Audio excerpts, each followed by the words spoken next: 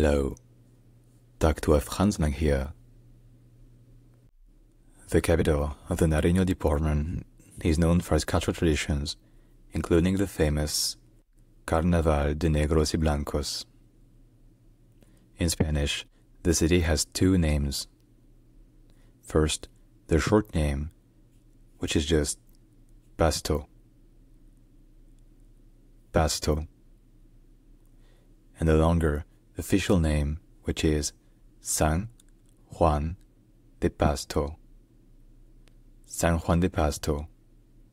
So two names, the short name, Pasto, and the longer, less common name, San Juan de Pasto. San Juan de Pasto.